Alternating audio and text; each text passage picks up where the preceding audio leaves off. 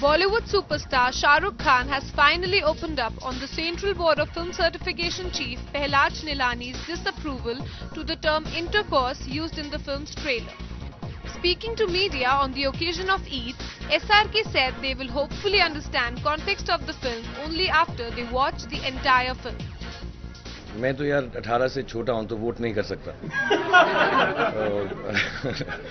यार, ये महकमे हैं। आई थिंक जो भी बोर्ड्स हैं, हमको बता देंगे, वो डायरेक्टिव दे देंगे। जब फ़िल्म आएगी, अभी तो ट्रेलर शुरू हुआ है।